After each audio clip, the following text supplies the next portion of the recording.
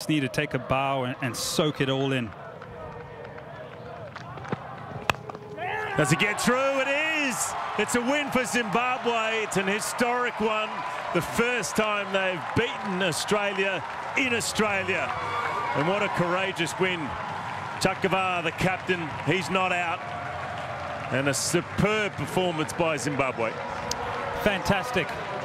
A group of players that uh, a lot of people had written off uh, a number of months ago, ranked 16th in, the world at one point behind uh, the UAE.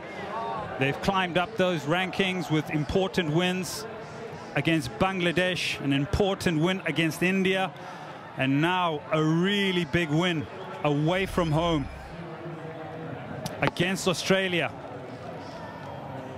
A really strong Australian side, and you'll know what this will mean for them. You look at Brad Evans, he's hit the winning runs, but this is a real group effort.